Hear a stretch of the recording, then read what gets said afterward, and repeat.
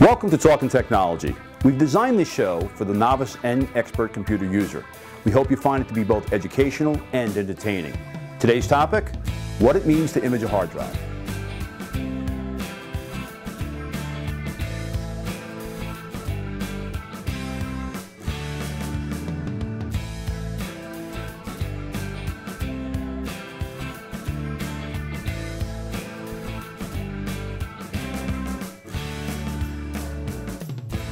The first step in recovering potential evidence from a hard drive is obtaining a forensic image of that hard drive.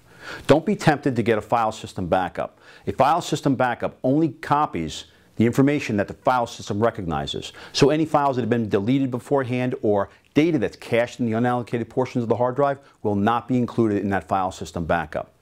A forensic image copies everything from the front of the drive to the back of the drive, regardless of how many partitions, regardless of how many operating systems on each one of these partitions. So you want to make sure that you get a forensic image. The first thing that the forensic technician does is that he takes the hard drive out of the computer and he connects it to a write blocker. Now a write blocker is a small device that prevents accidental data writes to that hard drive.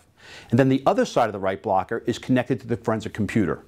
On that forensic computer is forensic software utilities that the, the forensic technician utilizes to actually create an image through the write blocker of that hard drive.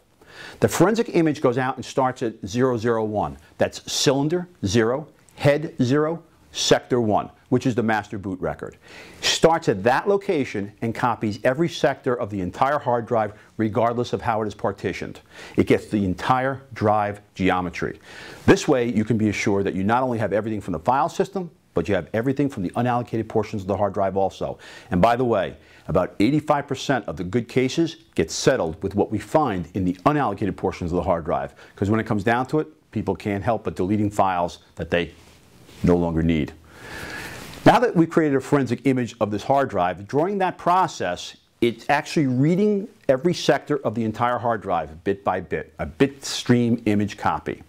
As it's reading it, it's calculating a, um, an MD5 hash for every piece of data on there that will later serve as a digital fingerprint just for that image. As it's reading it, it's copying it to an external storage device. Once all those images form the entire copy of that entire hard drive, the software then goes out and verifies the process by doing the MD5 hash against the images stored on the external storage device. If that value matches the first read value, then it's exact duplicate. And when that happens, it's been held up in military courts, federal courts, and state courts around this country.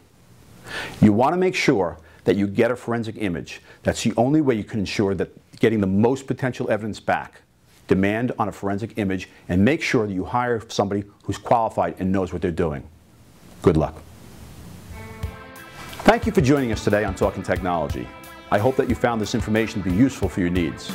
If you'd like more information about what you saw today or would like information about joining the High Tech Crime Network, please visit us on the web at www.htcn.org or call us at 877-HTCN-ORG. We look forward to talking to you. And again, thank you for joining us.